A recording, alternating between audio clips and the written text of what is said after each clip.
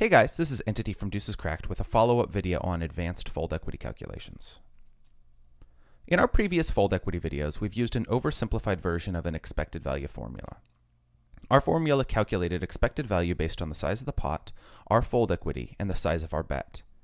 We're going to update that formula to add one very important piece of information to the calculation. When we bluff or semi-bluff, we usually still have some equity when we're called. We don't lose our entire bet, so we need to update the formula to account for that. Today's video is going to show you how to get started on calculations that take that into consideration. Let's go back to the definition of expected value. EV is what we expect to win or lose over the long run in a given situation. Simply put, our EV is the sum of all possible decisions we can make. For a fold equity calculation, there are two main things that can happen. Our opponent can fold or our opponent can call.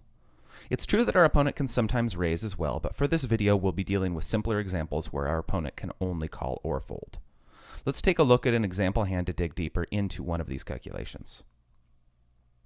You hold Jack 10 of hearts on a 9 of hearts, 6 of hearts, King of diamonds, 7 of clubs board. There's $200 in the pot and your opponent bets $100. You check raise all in to $300 total.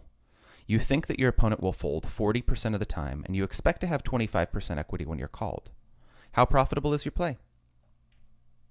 Let's take a look at our updated EV formula again.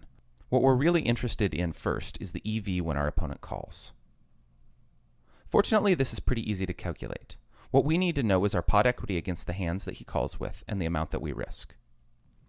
In this case, we can see that our EV when our opponent calls is negative $100. Updating our EV calculation, we can see that we win $300 40% of the time and lose $100 60% of the time. Net, our EV is plus $60. You can also use this formula to determine how much fold equity you need, assuming that you know your pot equity when you're called. Just set EV to 0 and solve for F, which is the probability that your opponent folds. In this case, solving for F shows that our opponent needs to fold one quarter of the time in order for this to be a good play. As our equity increases, we need less fold equity, and vice versa. Of course, this is only part of the work you'll need to do for practicing fold equity calculations. Now that you understand how the math works, it's time to start practicing estimating fold equity in different situations. Our lessons on maximizing fold equity and calculating fold equity touch on the different methods you'll employ to get a good feeling for how often an opponent will fold in a given situation. As always, if you have any questions, please ask them on the forums. This has been Entity for Deuces Cracked, signing off.